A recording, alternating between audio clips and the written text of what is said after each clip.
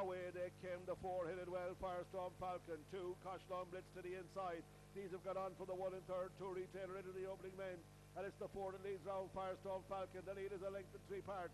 Two in second, Caislean Blitz. The leader runs a little wide off the home turn.